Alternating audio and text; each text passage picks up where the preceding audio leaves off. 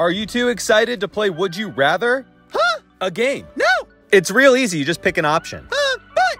No! Ham! Ham's playing too. Fine! Okay, so who wants to go first? Ham goes first! Should it be the same Would You Rather to be fair?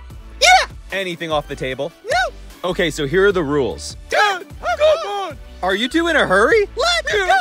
go! Okay, Hammy, step up to the plate here. It's your turn to go first. Hammy, would you rather fly or be invisible? Uh, If you could pick one of these superpowers, which would it be? Uh, Invisible. Yeah, that one! I'm surprised by that choice, Hammy. I'd figure with those short legs you'd want to fly. But then I can sneak! Would you rather fly or be invisible? I be rich! That's not an option, Liv. It is for me! Would you fly or be invisible? Ah, fly! So if you could get up and fly, where would you fly to right now? We have good sushi here. It's me! Would you bring ham? Ha! No! Why? I peace out!